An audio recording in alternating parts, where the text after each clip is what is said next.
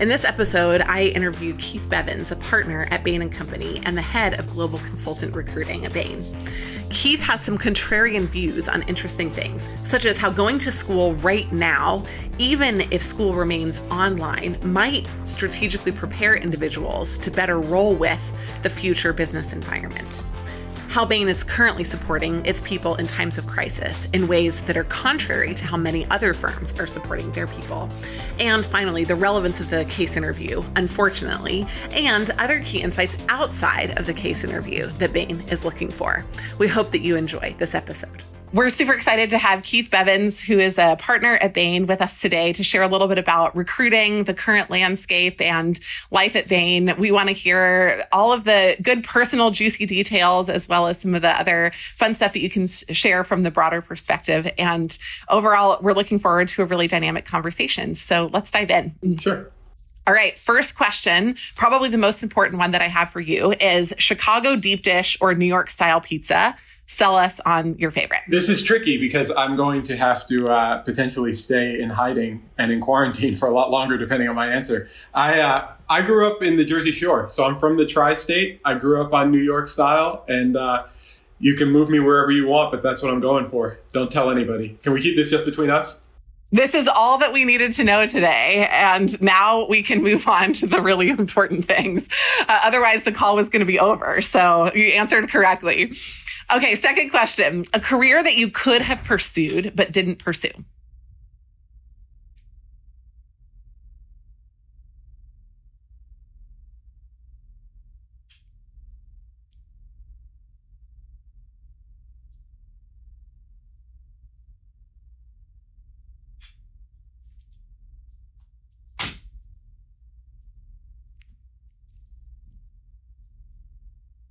This Bain thing doesn't work out. I asked it past tense, but it, I didn't say that you can't do one of those exactly. things or all exactly. of them in the future. Okay, great. Next question. The biggest risk you've taken that's paid off? Um, 30 years ago, uh, at the age of 17, I told uh, this, this, frankly, this woman, young woman that I knew, that she was the ideal woman. Uh, we had our 22nd anniversary last month. Well so done. All right. It worked out. There we go. That was a risk. Was I, I, definitely. Risk. Definitely count that as a risk. Yep. Okay, next question. Okay. Business leader who has inspired you? Um, my first understanding or introduction to consulting was actually a gentleman named Reggie Van Lee, who is a longtime partner at another firm. Um, he, like me, uh, is black. He was uh, one of the first black partners that I met in the industry. Uh, he also is MIT HBS, like I was. Uh, so we had a lot in common. Um, and I met him when I was 17 or 18 years old, and was like, "That's that's the model. That's what I'd like to do. What what is consulting again?" Um, and he's been a great mentor. Even, I mean, I called him for some advice a month ago. Um, so you know, here we are, literally 30 years later, and he's still a mentor of mine, uh, and he's been great. Amazing. Can you share one thing that he has shared with you as a piece of wisdom? Um, yeah. So one of the things that I went to talk to him about was when I was sort of in that window of deciding to take one of the other opportunities we talked about or making the push for partner. I asked him because he and I are um, a little more outspoken than most. And I sort of said, so how, basically I said, how have you not gotten fired yet? Um, and he said, you know, a little bit of what I do is when I say things that I think might be controversial or might rub some people the wrong way, I usually acknowledge that before I say it and just say, you know, I realize some of you may not want to hear this, or I realize it may sound like I'm not being sensitive to, but, um, and it at least took some of the edge off because people understood that, you know, he wasn't a sociopath. he, he understood that what he was saying might rub some people the wrong way, but it needed to be said. And that, that little bit of a, of a qualifier before the statements just helped. And, uh, you know, I, like I said, we, we tend to be pretty much alike, although, uh, you know, although we were MIT HBS, he finished MIT in three years. It took me five. I got I got the master's degree, but at no point was I at risk of graduating early from MIT. Well done. That's amazing. Okay, great. Next one, uh, a ha- outdoors happy place. My outdoors happy place. Uh, honestly, uh, as a photographer, any place with good graffiti. Uh, you can see from the uh, from the background, I, I tend to when I travel for work, I visit parts of cities that most people skip. Anybody can see the bean downtown or go by the Eiffel Tower, but most people don't get out into the neighborhoods and really see um, some of the culture and the art that's there. So I, I, know artists all over the world, and I make the effort to go um, to go snap photos uh, of different graffiti spots. I've got them all marked in Google Maps for every city around the world that I go to, um, and I, I make a point to sort of duck out while I'm in town. There's a Google Map tag for taggers. That's amazing. Yeah, Oh no, it's mine. That one's mine. Uh, but I know where all the spots are in the cities, uh, and I just figured I'd celebrate Chicago a little bit with a meeting of styles background from from Chicago. Amazing. Uh, okay, um, truth telling. This is a little bit of a diversion, but have you ever done graffiti yourself? Uh, I have not. I can't sing, dance, draw. Uh, I can get really creative in PowerPoint and take pictures. Nice. That's the extent okay. of my artistic creativity. Amazing. All right, great. Last and final, to me, the most important question, um, other than the pizza question, which again you answered correctly. What is your favorite donut and why? You know, it's the glazed donut. Uh, it's as I'm going to out myself as a consultant. Uh, you didn't say what I do for a living, but let's assume for a second. We'll get there, but you can go ahead and reveal it now. It's a good benchmark. Like you can get a glazed donut pretty much any place that sells donuts, and if they can't do that right, there's no reason to stick around and try other stuff. That's literally the most consulting answer I've heard to that question. That's amazing. okay, great. Keith, let me give you one chance to ask me one of the questions back, and then we'll dive into the broader conversation. Uh, outdoor happy place. Awesome. I have so many, but one of my favorites, it's a place that I grew up. So it has a combo of nostalgia and also happiness for me is the Blue Ridge Mountains in North Carolina. And specifically, there's one hike that's there called Graveyard Fields. Um, and it has a couple of different waterfalls. You can swim in them. You can walk in the creek. So cool. And it is, it's just something that makes me feel alive and connected when I go there on an almost annual basis. So that's I love it. That's awesome. Cool. Amazing. Okay. So, uh, what we're going to do today is uh, talk about a couple of broad topics. We're going to talk about recruiting trends. We're going to talk about Bain right now and also just why Bain, why Bain for you, why Bain for other people. Uh, but I'd like to just get a little bit of an intro from you before we do that. So, can you okay. tell us a little bit of your background and your story of how you got to where you are today? Sure. And uh, are you the one sketching here in the side? no. That's amazing. Uh, thank you to whoever is uh, providing the artistic backdrop for this conversation. Um, so uh, I joined Bain uh, back in 1996. I did a bachelor's master's in electrical engineering. Uh, as I mentioned, I grew up in the Jersey Shore.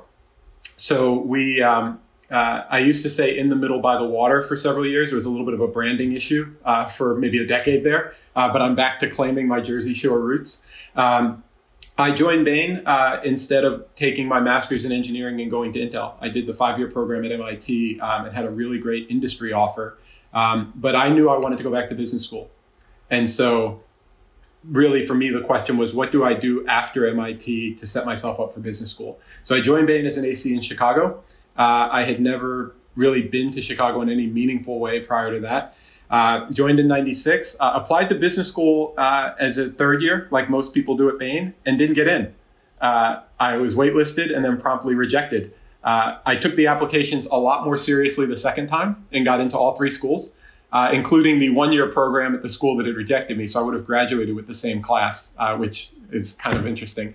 Uh, so I, I, left and went to school. I went to Harvard Business School with my wife, um, my then wife, uh, we had our first son while I was in business school. Uh, he's a college freshman now, uh, working downstairs in our basement.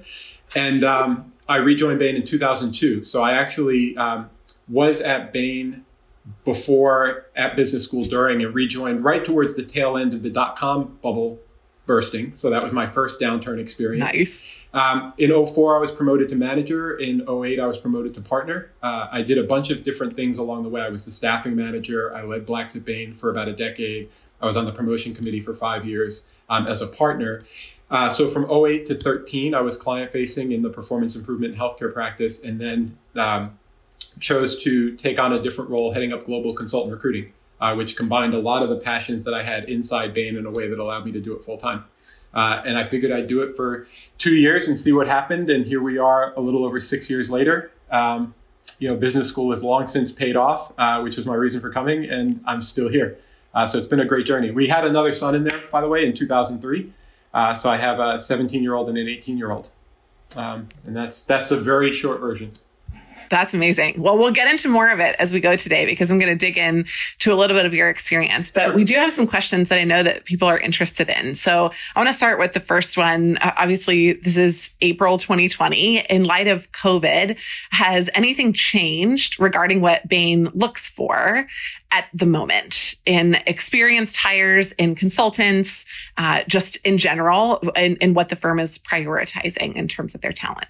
You know, no, the, the, what we actually look for, and it, it, it is the title of a video I think we recorded a while back on YouTube. So if people want to know sort of what we look for, it's me talking with, uh, with uh, one of the folks on my team about it. It's the same answer. You know, not a lot has changed. I think, um, you know, the, the core skills that it takes to be successful with clients, the way you think about problems, the way you think about engaging with people, um, it may not be in person, uh, but it's still the same types of things that we're looking for. Um, and so that that part of it hasn't really changed. Uh, you know, it tends to be more important. The clarity of um, the clarity of where Bain fits into your career journey is probably something that I think people underinvest in. They practice on cases, they practice on remembering formulas and the seven S's. Like, you know, I'm going to quiz them on, you know, can they remember all of Porter's five forces? But at the end of the day, um, it's still the same types of skills, the same types of things. You just have to understand why and be able to articulate why coming to Bain is the right next step in your journey because that's not obvious for everybody. So I'm going to follow that up with just a sure. point B. How does somebody do that if they don't know if it's if it's not immediately evident to them or if they don't have really deep experience with somebody at Bain? How do they figure that out? Yeah, so first of all, we try and put a lot out there online for that. Um, you know, I'm pretty accessible. The team is very accessible. Um, you know, we may be doing more Zoom and WebEx and, and FaceTime calls than we have, but probably five years ago, you know, the team started the Bain Passports webinar series and the Bain Strategies webinar series. So we've been doing a lot online for a very long time. Uh, what's new is everything's online now. There's, there's, not a there's not a webinar followed by a, and I'll see you next week when I'm in town. Um, so from that perspective, we've done a lot to try and put stuff out there. You know, it's it's kind of funny because a YouTube video on what we look for, a YouTube video on how to create. Those are all things that's that's real. Like we're not, you know, that's not the marketing team sitting around like, what do we want to put out there in the market? It's like, no, let's actually help people. At the very least, it'll save us telling a hundred different people the same thing. Just put it out there and let everybody see it. Um, and so I do think taking advantage of the opportunities that are out there becomes really important. You know, we try and put a lot out there for that reason, um, so that you can get past the level one and level two questions. You know, where are our offices? You know, what practice areas do we have? That that stuff you can read on the website. You don't need to talk to anybody for that. Um, that is very different about your audience than I think when I came through recruiting. Maybe when you came through recruiting, in the sense that you know in 1996 there was nothing online. You can go in the Internet Wayback Machine and look at our website back then. It, it wasn't very good. Um, and so what you knew about Bain or what you knew about any company was what they told you when they came to campus. And that was it. And now you can go on Reddit where I am. You can go on Fishbowl. You can go on Glassdoor. You can go on Vault. You can hop, you know, on a on a you know, management consultant forum. Like you can do a lot of different things to learn about people and learn about what the business does. So that when I say, you know, why does consulting make sense for you? It's not some version of, well, I can't decide, and you'll show me variety, which turns out not to be super compelling in a competitive market, right? It's a little, who would have guessed? Um, so I think the depth of the answer in terms of what skills you'll build and, and how that fits into what career you're trying to build towards, that ultimately is to me very differentiating for people. And it makes me more comfortable when I'm meeting candidates and say, you know, I think I really want to come to Bain. I say, well, why? And they say, well, because the way you approach this, the way you approach that, um, fits because I'm trying to do these things in my career. Ironically, uh, and then I'll shut up. It's the it's the same types of things you talk about when you're thinking about where to go to university you know, thinking about going to Harvard with their case method is a very different learning style than what I had with some of the other schools that I could have attended. And so, you know, being able to understand why somebody who doesn't mind debating and sharing his opinions live and in person might feel right at home in that environment. That's actually perfect for me. There are other programs where I would have sit there like bored out of my skull taking notes. That's not perfect for me. That might be great for somebody else. And that's, they're both right. Amazing. Well, so that that was like a two for one answer. Okay. I, I want to follow up again on something that you said in there that I thought was really interesting.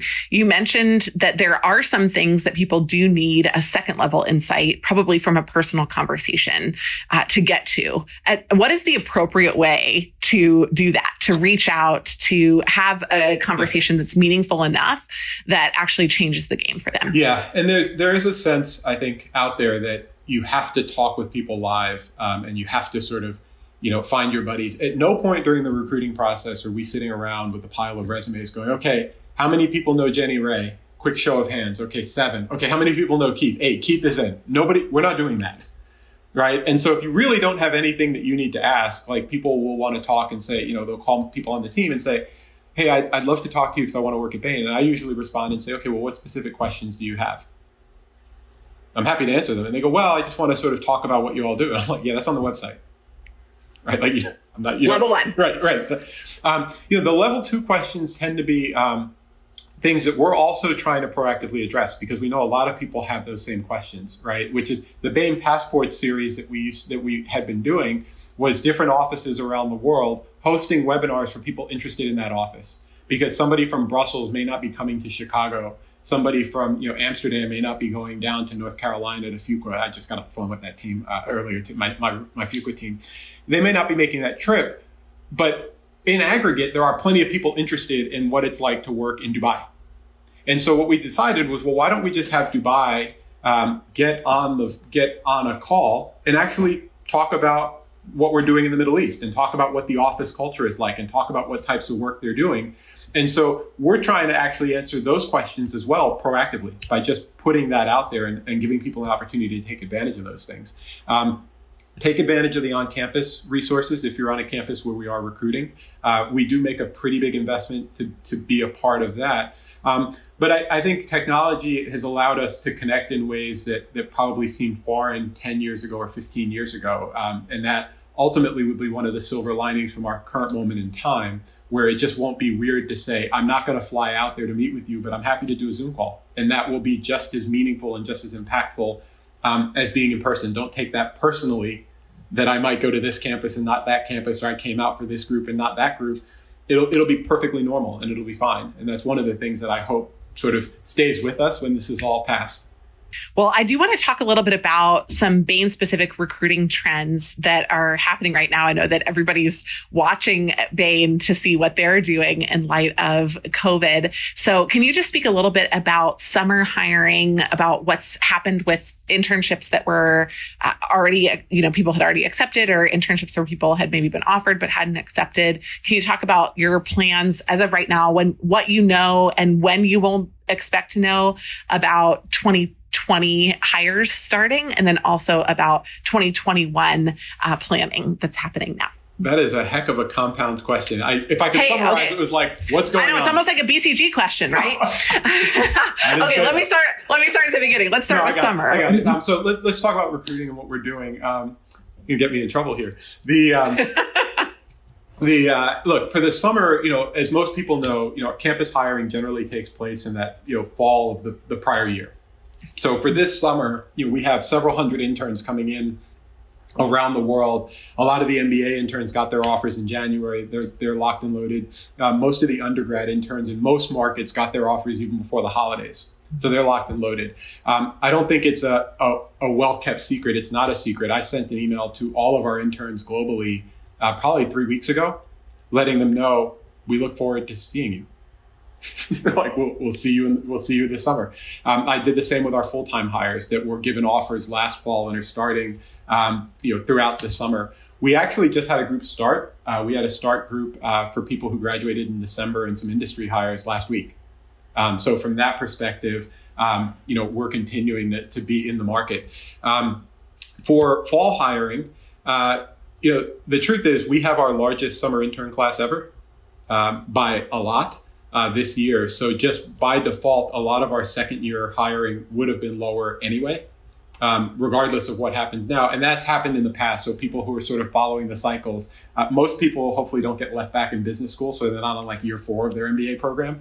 But for the most part, um, you know, second year recruiting tends to be filling in the rest of the class after you have you know the ACs that return, uh, the the summer interns that return, and then you fill in the rest of the class. So when you have a big intern class, um, you know second year recruiting tends to be a little bit smaller. We, I expect to be on campus. My team is planning uh, right now um, uh, for that. Uh, and and that's you know no different uh, this year than it was in the 0809 downturn than it was in the 2001 2002 downturn. Um, in terms of intern hiring for those uh, planning on enrolling in school in the fall, and I'll talk specifically about MBA recruiting, which is my primary focus. I recognize uh, some undergrads might be on the phone. You know, the intern class that we'd be recruiting this fall would start in 2022 you know, if you look at any one of our revenue charts during the last couple downturns, Bain always accelerates out of the downturn.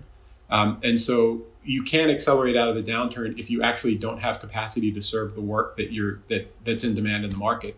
Um, and so, shockingly, right, as a strategy firm, we take a long-term view on the business. Um, you know, I can't come out of the downturn without a second-year consultant class because I chose to you know turtle myself uh, in the downturn. That's not how this works. Um, you can't have a high school without a sophomore class. Like that's not a thing, right? And so I expect our intern hiring to be as robust as ever. I think the intern hiring and success we had this summer right now probably will make second year recruiting a little bit smaller, but that was going to happen independent of the current pandemic. Um, that's just that's just math. Um, the good news for us is, you know, we go into this uh, current mode, um, and it's COVID now, and it might be a recession later, um, as strong as we've ever been. Uh, we've been through these types of downturns before. We have a tested playbook, and you can look at our growth after the 0809 downturn as proof. Like we know what we're doing, we know how to navigate this. Um, you know, we think about doubling down on our clients. Uh, they are number one, uh, and and the clients clients tend to remember who stuck by them when they were on this path and then all of a sudden had to take an abrupt right turn because something dramatic or something traumatic happened. Um, and so we're investing in our clients right now. We're obviously taking care of our people and we're keeping the leadership team focused on the long term prospects for the business. Um, we go into this downturn probably stronger than we ever have been. Um, in the past, heading into the 0809 downturn or the 01, you know, 02 downturn, um, you know, we just closed the acquisition of Qvartz uh, late last year. We sort of formally acquired and brought Italy into the family. Uh, we had acquired Forward. Um, you know, so we go in riding a really strong wave of momentum. So, you know, this probably will be even better than some of the other ones in terms of what it looks like on the backside. That's not um, underselling or underplaying. You know how difficult a time this is. We're all going through the same thing, but it's affecting all of us differently. Um, and as a firm, we're making sure that we're meeting our people where they're at, um, you know, as work from home and, and things like that, so that people feel supported as they're doing their work. Um, but that's a, a, lot. That's a broad answer. Um, you know, I can speak to the summer program. We are going to have the summer program. Um, you know, we're excited about you know some of the creative options that come into play when we're doing this. But as you'd expect, uh, you were at Bain uh, for a little while. People are finding ways to stay connected that we might not have done in the past. Uh, you know, there's a couple of groups working out in, in, the Chicago office alone. There's a couple of groups sort of working out together online or on Peloton. There's a couple of groups that get together to cook. There's a couple people that get together for video gaming and, and you know, uh, there's like a Dungeons and Dragons group, and you know, so people are just finding ways to stay connected and just sort of hang out um, because we're, we do not have that chance to see each other and engage the way we did. It's actually been a, a, a really um, refreshing view and, and, reiteration of how strong our culture is and how much we actually like spending time together. Um, and this time more than ever is, is, is proof of that. I love that. Uh, can you illuminate for us what you think makes Bain different in terms of mindset and strategy than a lot of the companies that we do see freaking out in the market right now? You know, I, I I wouldn't say that uh, you know I wouldn't say that we're different from companies that are freaking out or not in the sense of I think everybody is taking it seriously and that manifests itself in different ways, right? And I think that's an important sort of thing to keep in mind that by and large companies are trying to do the right thing by their employees and do the right thing by their customers, so on and so forth, and we're no different in that regard. I think you know our sense of um, responsibility to our employees and to our clients sort of drives everything that we do, um, and so you know our you know, if if you talk about sort of what makes us different in terms of how we approach that, yeah. um, I, I think that we have a mindset of we're gonna we're gonna win as a team, and it's not okay that I have a work from home arrangement that allows me certain things and allow you know I either you know I have two teenagers at home they're totally fine not seeing me, but that's not everybody's situation, right? I you know you know we're blessed in the in the fact that nobody in our immediate family has fallen ill right? And and we're not, you know, so there's a lot of things that I think, uh, like I said, we're all going through the same thing, but it's affecting us all differently. And I think because we are a very diverse place in terms of the backgrounds and the skills and the types of people that we hire, sort of our ability to roll with that and our ability to appreciate the fact that your situation may not be the same as mine, but I respect the fact that your situation means you, you can't do this. You know, your days need to end at three because you have some responsibilities that you have to take care of. And I'll see you back online later or I'll talk to you tomorrow.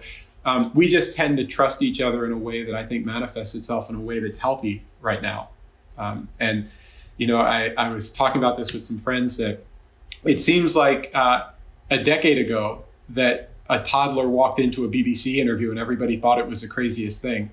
Uh, I'll tell you what, I have, you know, we, we've had kids, pets, spouses on all of my calls almost every day now. Um, and I think what we're learning as a, as a business community is that people have whole lives and you just have to roll with it. Some things are really serious and some things aren't. Um, you know, I, am on a call with a lot of people in a business setting and I realized I meant to change my background away from the graffiti picture. Haven't gotten to it yet. And it's fine. And, and again, that's one of those things that I hope stays with us when this crisis is, is sort of started to subside um, because at the end there's some things that matter and a lot of things that don't. And our ability to distinguish between the two actually is is this is a good chance to learn that well, I want to talk just about one more question related to the the macro journey that you've been on and why what, what's coming out right now. Uh, and this is related to just Bain over the years. So you've been there for, like you mentioned, a couple of different downturns, a number of different Bain seasons, uh, pre Zoom and post Zoom. You know, some of the other seasons like that. But what are your favorite surprises that you've experienced at Bain so far, and why are you specifically hopeful for the future of of Bain? You know the surprises tend to be um, it, it, there, there's moments of truths that, that companies have right? And and there's always this sense that um, you know when when the things that people remember in times of crisis or in times of turmoil or in times of celebration are are not they don't remember how what happened they remember how they felt. Right? And there's sort of these moments of truth now where you see companies doing some things unfortunately that that don't respect uh, the health and safety of their employees, or don't reflect reflect the fact that uh, reflect the fact that employees sort of wake up every day and decide where they're going to spend their time. Um, and some, you know, I, I, think that what what I'm seeing is not. I'm not surprised at all. Um, I, but what I'm seeing is Bain's leadership team stepping up to support people in ways and and and accommodate people in ways and sort of reassure people that things will be okay. And nobody knows how it's ultimately going to work out, right? Nobody knows what campus will look like in the fall, right? Nobody knows if classes are going to start up in person or be virtual in the fall. Um, but what I can say is that our operating principles in terms of how we treat each other and how we focus on our clients and those things this is just another one of those times where I've seen us make the shift to working from home and doing all of the amazing things in the background to make that possible for a firm of over 10,000 employees to literally switch to work from home overnight and watching our technology team step up to support that and our HR team make sure that people had safe places to work. Um, you know, we have, like I said, several hundred interns starting in a couple months that are, are anxious because they were supposed to go abroad for their internship uh, campus has shut down and they've been told they have to move. And where do I go? I can't go home and I can't stay here. Um, and they're reaching out to us for help. And that's one of those times where we're saying, well, let's talk about what our options are, not hang on, let me get the HR manual on this one. You know, it's it's operating from a set of guidelines that for us, um, I'm not surprised by it one bit. I'm surprised that I even thought that was a question you know, I, am surprised that I even thought there was a possibility that we wouldn't do right by, by our people. Um, mm-hmm. And we have. And I think that's been really great to see.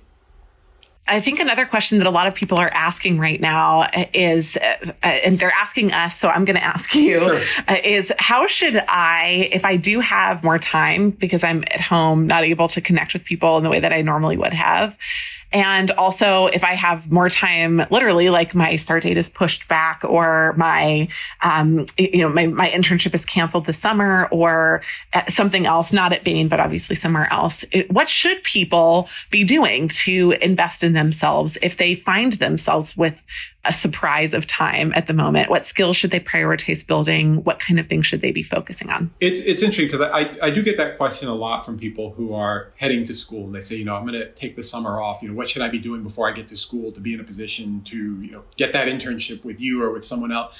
And I say, um, live your life, enjoy yourself. You know, you know, like don't don't don't try and extrapolate from every day's accomplishments to success or being back at home at 50 in your parents' basement. Like that's not a, those aren't the only two options. And I think um, a lot of us, like myself, are planners, right? And we like to sort of know, okay, what am I going to do today that's going to get me there tomorrow? And it's like, wait, just settle down a little bit. Um, so I, I, do think, um, and I was just in some training that we're doing today around personal capacity, uh, which includes sort of your physical wellness, your psychological wellness, et cetera um, as people just manage through the stress of this because we, we have programs and trainings that aren't client related trainings. It's more about how you show up and how well you maintain yourself as a person. Um, that applies here as well, um, even before you get to school. And so my advice is, you know, don't freak out about it. Um, you know, I personally am working as hard as I've ever worked uh, and decided that I was going to pick up some new Photoshop skills and have set a goal of watching a bunch of online tutorials and trying to do one or two a week. Um, you know, trying to just take up. Like, so it's it's weird, right? Like get a hobby. Um, but the the idea is that you don't have to sort of think about filling every moment of every day chasing the goal. You, it's okay to just relax for a minute. Um, school will be there in the fall. Um, this crisis will pass as other ones have. Um, and it's okay to be full, yeah, have a full tank ready to go when classes do start.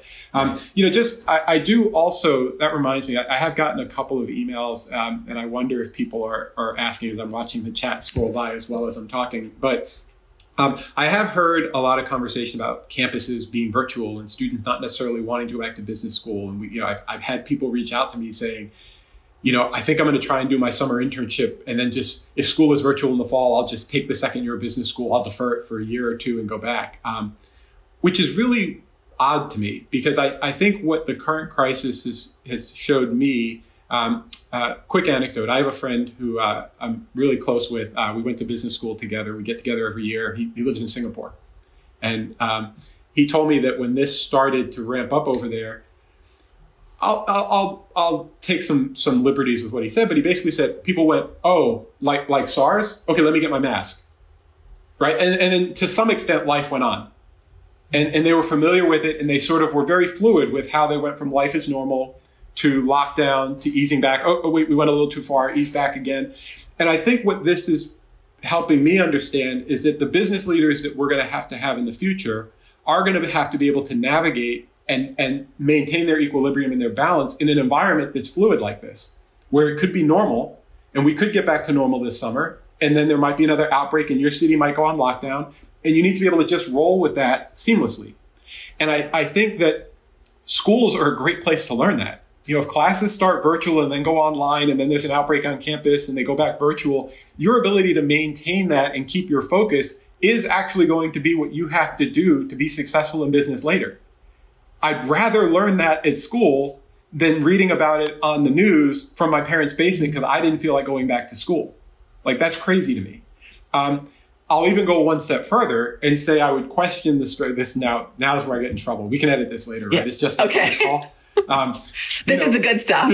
I think that the practical reality of thinking that you're going to quit school in between two years of business school, go and get a job in an environment where 30 million people just applied for unemployment, and you're going to find a job for somebody who's going to pay you a lot of money and wants to hire an MBA dropout so that you can work through the recession and then quit and go back to school when the economy turns around, that's just not smart strategy. I mean, that's just, that doesn't make any sense at all. The best place to be in a recession, coming from somebody who watched his peers in 0102, yeah, that's school. Go to school. And, and I think what's different is you will also learn, like I said, how to navigate this type of environment. You know, how does social distancing work? in a place where people do need to interact. And I think that's valuable experience. I think you can take that as a learning experience and it'll be a unique experience. And to some extent, the people that go through that on campus this fall um, will be some of the people who are most familiar with what that looks like, more so than people like myself who, you know, who haven't been in that environment, who work from home when they're not traveling. So I, I think there's opportunity here, and I, I would hate for people to don't hate anything. I would not like for people to miss it um, as they go through their journey. I love that perspective. It's one that I haven't heard before, and it's very different from mine, which is that I, I recommended uh, what I did was sail across the Atlantic Ocean on a boat. It's like self quarantining for two months, and I think it's a less helpful suggestion than yours. So thank you for your insight. It'd be a great experience as well. Just it, it, was a one time in, in, the in a life experience, not necessarily what I'd want to repeat, but quarantine friendly at the moment for sure. Yes, for sure. So, um, one of the other questions I think that people have been asking is, and we kind of talked to this about trying to dig into what that level two question insight looks like for um, for Bain. But what do you think? You know, what is your why Bain? What how what distinguishes Bainies from other people? You've had the choice of looking at other roles and other places to work, um, and and I'm I know that a lot of people do effusively talk about the people at Bain. But what is your why Bain? Yeah, so there's a couple of different things that come to mind. So, you know, for me, my initial reaction in joining Bain, um, you know, and I, am really candid about this. When I applied to Bain, um, you know, I didn't apply. Most people apply to all three BBM firms as they go. Uh, most people do that acronym backwards. I'm not sure why, but um, and you're you're a contrarian. You look at graffiti and you say BBM instead yeah. of MBB. Uh, but I I think um, you know, for me, the people that I met at the firms did feel different. Um, and the more I got to meet people, the more I felt like um, there were certain places where I felt like my personality and the things that I liked and the, the level of acceptance that I felt um, were a good fit. And so I didn't apply to all three. And I actually withdrew from the other one first round interviews when I got the Bain offer. Um, so it is very different. And I think when you invest the time to really get to know, you you you kind of know, you feel like where you belong. And that that was my experience that's unique. And I realize not everybody will get to that place, um, especially in our current environment. You applied all three and you want all three. I, I didn't have to do that. Um, frankly, I probably just didn't know any better at 22 or 23 or whatever it was.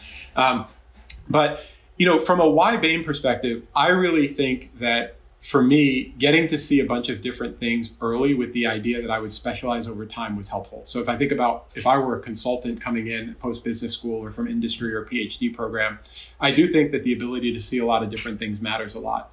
You know, I um, as a partner, I spent a lot of time working in operations for a, a healthcare provider that ran close to 2,000 clinics around the country. And with the ACA, people remember when that was coming through, there was a lot of uncertainty. Um, but one thing that wasn't, you know, was not in question was they were going to have to get a lot more efficient about how they ran their operations. And so it almost became this thing where it was like, okay, how can we keep our exam rooms full? Like we cannot just have them empty for hours at a time. We need to keep them turning. Earlier in my career, right out of Harvard, I um, at a business school, I came back and worked in the restaurant sector, and we were looking at some of the some of the um, operations for a restaurant client. And it, I, have told this story on campus, but it turned out that when I started looking at healthcare, you know, all these healthcare executives and veterans were sort of going, we have to figure out how to get the throughput on our exam rooms up. And I was like, oh, that's, I know it's new to you all, but you know, they've been doing that in the restaurant industry for, for like a century now. Um, and the idea of like taking the insights from the restaurant work that I did to my healthcare client was like hugely valuable. And you think about the steps, right? You sort of go, you check in, you go to the bar, you sit in the waiting room, you, you know, they take your vitals, you order your appetizer, you eat your meal, you see your doctor, you pay, you check out, you set up a new. the steps are exactly the same. You know, and so what was a really unique and innovative business problem in healthcare was like old news in the other restaurant, in the other sector. And Bain's model doesn't make you specialize when you join. It, it expects you to see a lot of different things, not because we don't think you need to ex, you know, have expertise and specialize over time, but because there's a baseline understanding of experiences that you want to be able to draw from in your career so that you can actually bring those breakthrough insights. And frankly, if every if healthcare expertise was all that was needed to crack all the healthcare problems in the world, the experts would have solved it, and we wouldn't need to have a healthcare practice. That's not how it works, right? And so for me, that ability to see a lot of different things was very helpful on the front end. Um, you know, I think now our approach to digital is is going to prove right, which is it has to stay very tightly integrated with the core business. You can't sort of have a retail practice and a group that does digital over here like if you're not in digital and retail, especially now, people are realizing like, what are you doing? Like if all the digital retail works over there, what's the retail practice doing? Right? Like how does that work exactly? Um, and so um, um, it's it's a small, it's a much larger conversation, but I think there's things like that that are are particularly unique to Bain. Um, when you join Bain and Company, and just two other quick things, you know, when you join Bain and Company, you join an office, Um, I think you were in Atlanta. I was in Chicago. My business card said Bain. My offer letter actually came from the Chicago office, right? And so I became part of a community of people that I got to know really well. And I know our introduction was through somebody you knew from when you were back back in the day. Exactly. Um, you know, and I still keep in touch with a lot of alumni as well. Um, you know, and it's just one of those things where you start building that tight community, and that just felt that felt right for me. And then the people I've um, I, I did track in college and I did field events and I was basically a specialist at the end of my college track career. And anybody who's done track knows meets run all day. But when you're only competing for an hour, you're hanging out a lot. There's a lot of hanging out if you're doing one event over the course of 10 hours. And um, the people at Bain, for whatever reason, felt like the people that I really enjoyed spending time with on my team. And that's more of a gut feel. And that's why we try and put ourselves out there so much so that you can get to know us a little bit better. And I, am very careful to say that the cultures across the three firms that most people are considering when they have options, they're different. They're not better or worse, they're just different. Your job is to actually understand what those differences are and figure out which one makes, you know, which differences make it better or worse for you. Because what's better or worse for Keith might not work for, for Jenny Rae, and that's totally fine. It's not better or worse, they're just different. Um, and for me, Bain was a great fit. I, like I said, I joined because I wanted to go to business school. Uh, I became a free agent effectively 2003, and 17 years later, I'm still here because it's been the it's been the right choice for me. I think just to to get personal for me for a second, Bain was a place that taught me that you don't have to leave somewhere because you're unhappy. I had never had that experience before, and it was one of the first places that I ever left because I felt like there was a bigger dream out there. And when I came into Bain, I did not feel like there could be a bigger dream than Bain. Uh, and and it's such an exciting place to be in a place where um, where the, those pathways can be parallel, yeah. and uh, people can just get excited about wherever they end up going, where it doesn't feel like you have have to leave a job because you don't like and, it, and but there's all, just you stay part of the things. family. You know, I, I tend to think there's um, what do you get paid to do? Who do you get paid to do it with? And how much do you get paid to do it? And what's been interesting for me on my journey is that at different stages of my life, different questions were more important than others. And so it's not that I, I, I was, we were just talking about this on, on Reddit of all places uh, earlier this week, but you know, it's not that I stayed for 23 years or 24 years. It's that I stayed two years, 12 times. right? And that you, you sort of keep, you know, you think about what else is out there because if I'm going to work this hard, I have to be able to look my wife in the eye and say, no, this is really the best place. And you only know that if you actually know what other places are.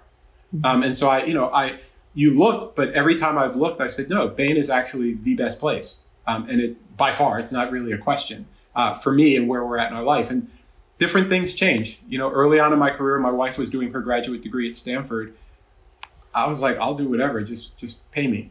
Like I I you know I've been in school for five years. Let's get on with this. And now we're at a different place in our lives where it's more like, well, who am I working with and what types of problems am I solving that's more important than the money? And that's, you know, it's not to say that one set of questions is more important than the other, but at different chapters in my life, I just I cared about different things. And they were all right at that time. They're not right now. So good.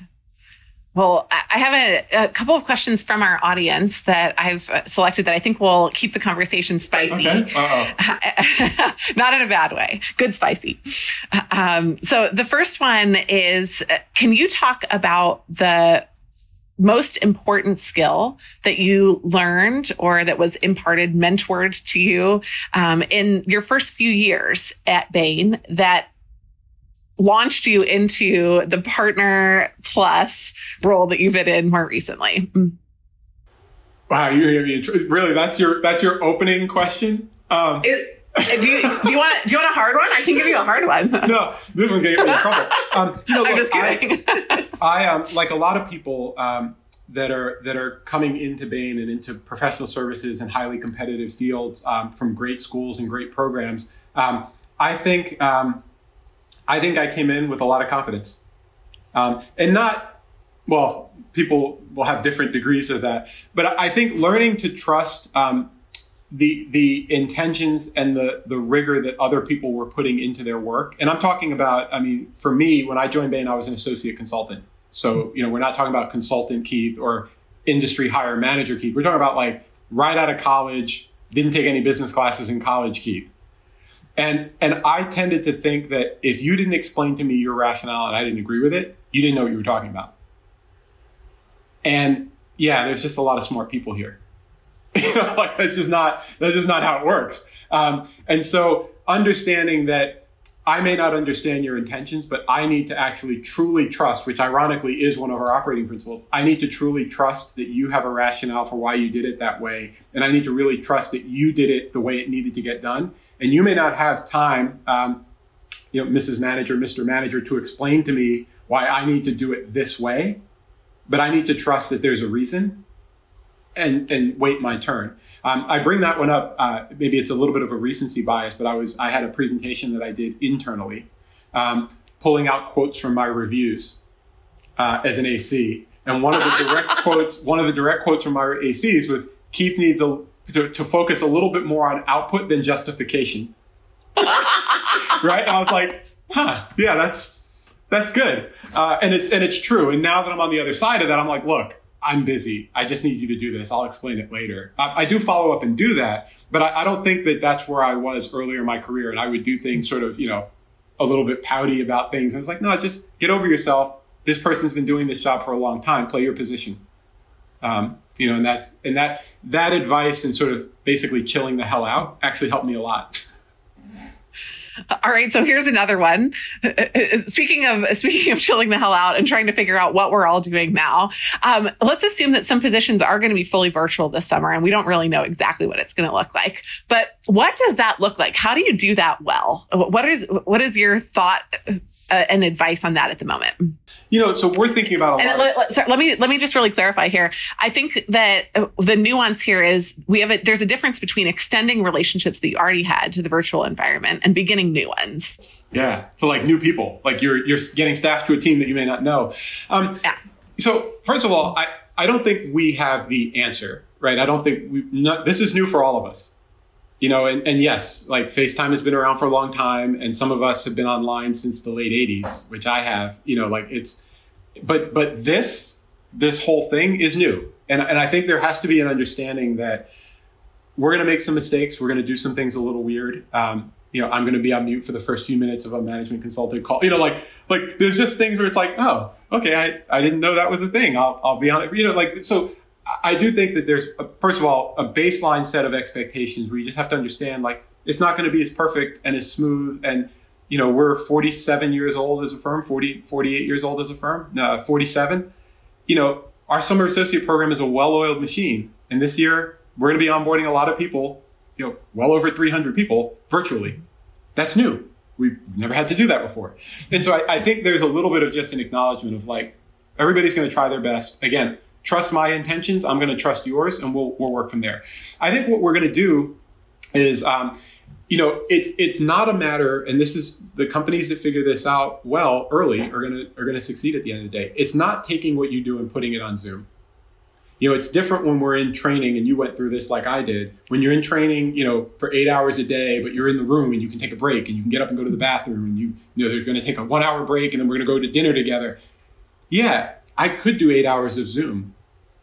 And you know what? People would be like ready to jump off the bridge. Like people would be miserable. Like people will, will not like that. And so on the other hand, I think virtual allows you to open up opportunities that you may not have opened up otherwise because you know at the end of at the end of the summer we do our presentations not that has not changed um, and usually it's the team from the office with a couple of other lt members that want to join well now i might be able to have somebody from the practice area leadership team join. I would never have flown them out for a, a, a 45 minute summer associate presentation, but if all they have to do is hop on the Zoom call, like, sure. So, you know, things like that. I also think, um, and where we're, at, you know, kidding aside, like we'll, we'll do the work. You know, our clients are doing it. People will figure it out. Frankly, a lot of your audiences, they're going to engage with us virtually after just having done it for two months at school. So, you know, who's teaching who? Right? I think where we're going to be different than a lot of places is we're going to focus a lot more on some of the non-work, non-training aspects of the experience. And, and we're thinking about how do you translate some of the culture that you talked about and that you've experienced and that frankly keeps me here in, in most cases, right? How do I translate that to an environment where it's fully virtual? You know, how do I do do we just you know i was i emailed our office services guys the other day when i'm in the office um, i ride in with my family um, well, my, my younger son and my wife drops me at the train on the way to school. So I get in like crazy early and I'm not a morning person.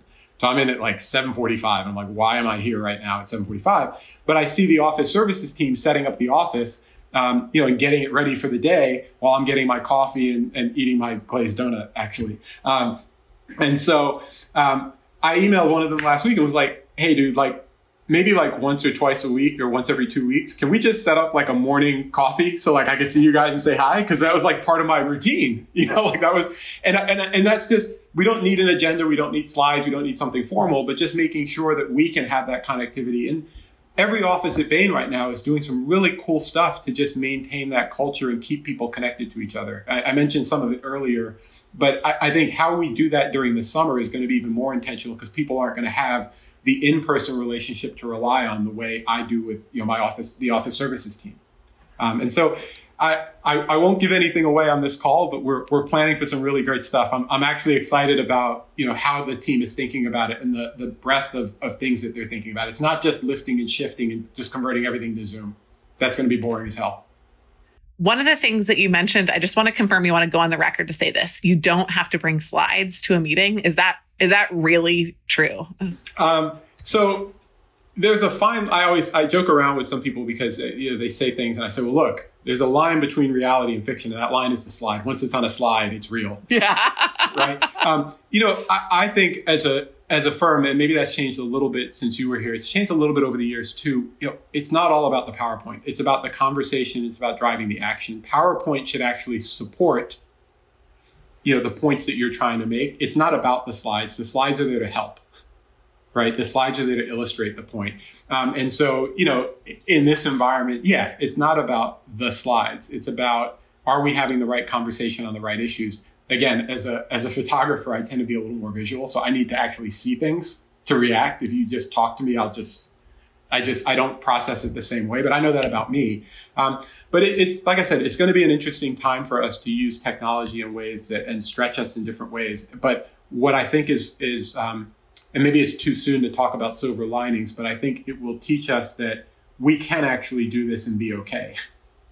Right? We can actually engage by you know and and a lot of your audience knows, you know, people will fly for one hour meetings, you know, go to, I'm going to Asia because we have to do this two minute thing. And, in, and I think what we're going to learn here is we just don't need to do that as much as we thought. And actually, we might be able to engage in different ways that are more beneficial and more impactful because, you know, I could put that flight time back into spending an extra half hour talking to somebody that I may not have had time for otherwise. And that, I think at the end of the day, I'm hoping that some of those lessons stick. Um, and we don't look at this as sort of the lost half a year. We actually look at it as a time where we were forced to do some things. Um, I, I, used, uh, it's not a, a, great metaphor, but why not? Um, you know, with my team this morning, I said, look, you know, you can either eat right and start exercising before or after you have the bypass. But if you can do it before you have to have the bypass, you probably like your life experience a lot better.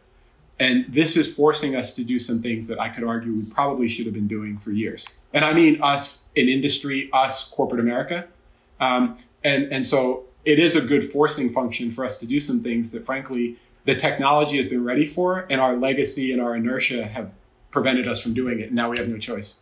I don't remember can the I last time I went two months without getting on a plane. but we can do it. It's possible. I don't know. I American emailed American emailed me this morning, and I was like, I miss you guys. I got that email too. yeah. What okay, else? so so I want to take one quick left turn and then we'll come back and land it. Sure. So left turn is around data and skills, and this is kind of yeah. a combo question from Angela, Sean, Roger, um, and uh, Dan. So this question is related to like, do you do you just need to know Excel, or do you actually to to get in the door at Bain? Do you need to know R? do you need to know SQL? Do you need to know Python? Do you need to know I feel Tableau? like somebody, somebody is asking because they saw me spark uh, the ire of the Reddit community uh, when I pointed out that in 2020, Microsoft Outlook and Excel and Word are not resume worthy skills. like, I'm like, I don't know. In second grade, my sons were using Google Docs. Like, why are you in business school with Word on your resume? Like, what are you doing? like, seriously, I'm going to assume you know how to use a word processor. You did type this letter, right? Um, you know, it's not like they wrote a handwritten cover letter. Um, I think that there's a couple of things that I would say. You know, no, you know, I don't expect people coming out of business school or undergraduate business programs or even engineering to you know be Python programmers, um, so on and so forth. I do think that there's a baseline level of skills that people should have. familiarity with Excel, some people will be more or less familiar with it. That's okay. Right? We have training for that. I think the learning curve is going to be different for people that come in with those skills versus not. You know, as a as a master's in engineering from MIT, yeah, I was pretty comfortable in Excel and, and building models. I didn't know how to read a balance sheet. Right. You know, so like, let's, you know, who, so what did you model? What yeah, like, you model? like, yeah, you tell me what to put in, I'll build the model. Right. So I, I, do think there's a, there's, there, people should keep in mind that we understand that people come in with different skills and that's okay. Right. I think when it comes to those more advanced tools like Alteryx and Tableau, um, I think that you're going to have to understand at a baseline when those tools would be helpful.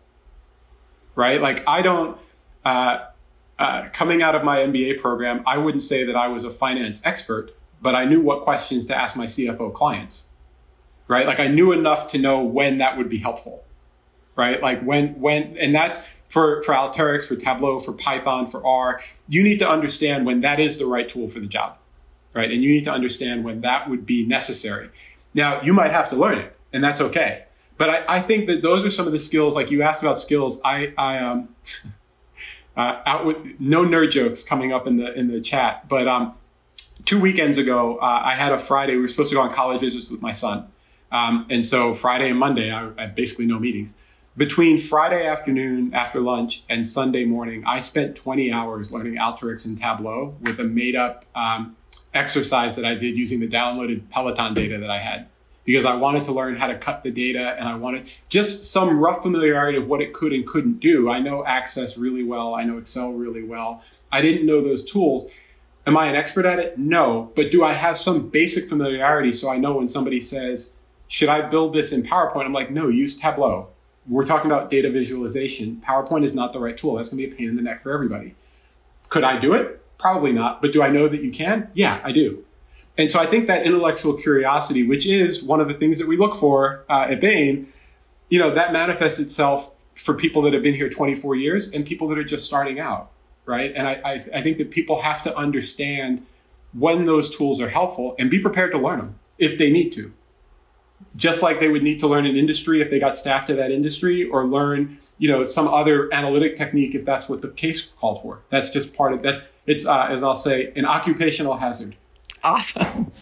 Okay, the final question yes. um, is Is there any chance that in our transformation to a new world, that the case interview will become less relevant going forward? I don't know if that's partly a hopeful question or, or a serious question, but I am interested in your answer. Yeah, no, that's, that's fair. Um, you know, the case interview, um, again, I, I, will liken put it back to when you and I were coming through recruiting, which might have been different times, but still, this the, the, the analogy will hold. Um, you know, we didn't have as much access to students, and they didn't have as much access to us, right? And so, I think students, when they, by the time I get to campus in the fall, whether it's by Zoom or in person, students will know a heck of a lot more about Bain in September, October than they did a decade ago, and that's okay. Um, the case interview in context is one of several data points that we're using. Um, you know, it's rare that we're interviewing people uh, in cases and we haven't met them outside of the cases, whether it's in a case workshop or in you know some on-campus events and things like that. So I think that comes from a place of assuming the case interview is the end-all, be-all, and and it hasn't been. Uh, it's a little see again. It's just us on here, right? I can only see you. It's just us. Yeah, it's actually it's actually not the big deal um, that people make of it because of the other things that I talked about right? And I, I spoke to somebody the other day uh, who emailed me and was like, you know, what do I need to do to get to Bain? You know, I've done 80 practice cases. And I was like, well, one, stop doing practice cases because that's way too many.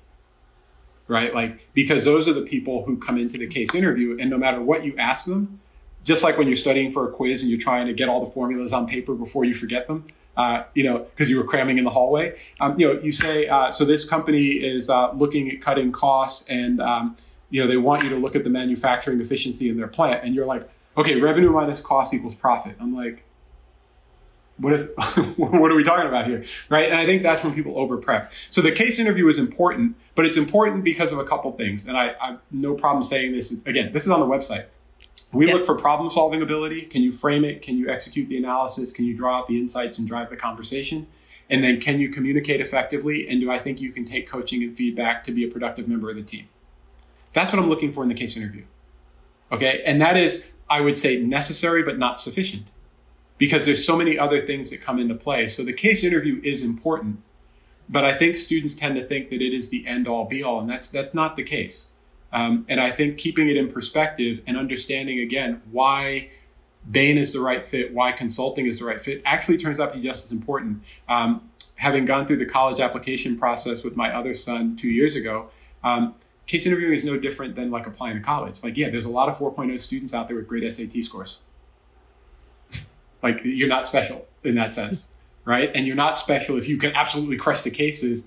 But when, when I stop and say, so how's your week going? And you're like, uh, I don't know. I didn't prepare for that question. You're like, well, okay, well, that's going to be a problem because the client might ask you how your weekend was. you know, like, like, and you have to be okay with it. Um, so I, I, don't think the case interview um, is the end all be all. It is very important. It's important to prepare. You know, if you got to campus in September and you were interviewing in January and you did one case a week through the fall, you're probably going to be fine. As long as you're doing the other things to learn about the journey that you're on. Um, and that's something that I can say here, people can listen to it, you can shout it from the rooftops, and 90% of people won't believe us. Absolutely. I have pretty good insight into our recruiting process. I mean what I say. well, on that note, we just want to thank you so much for your time. No, it's been really, really exciting. There are so many unanswered questions from the call. So it seems like we're going to have to start about 50 Reddit channels or themes or, or, conversations in order for, for you to get the chance to answer those. But, but once yes. again, thank you no, so thank much you. for your time. And we've really appreciated hearing from you. No, thank you. And if you want to uh, get me those questions, um, maybe we can consolidate them and I can upload, you know, some text responses or even record a video response for your audience if that helps. We'll Fantastic. See. That would okay. be amazing. Thank you, Keith. What, what I'll do now is I'm going to pop up on the uh, screen just a way that everybody can get in touch with us. Uh, Keith, uh, Keith has said that he is responsive, but probably not to all 2000 people. There are questions like you heard that are appropriate to do on your own, and then others that might be appropriate to reach out to um, Keith, his parallels, people that are inside the firms that you know, not just Keith. Uh, Keith is powerful, but not all powerful, right, Keith? Too kind. but uh, but yeah, um, and so we'll pop that up here. And for anybody who does have additional questions, we will um, we'll save the chat and then we'll go through that. And Keith will send it over yeah, to your team. I'll, I'll, I'll get something out, of course. Wonderful. We appreciate you. Thank you all. And uh, Naman and I will stick on the call for a little bit longer. Well, Keith will release you. We appreciate okay. you. Thanks again. Have okay, a great rest of your day. Me. Thanks for all your help and thanks for the questions, everybody. Uh, it was great talking with you. Bye bye.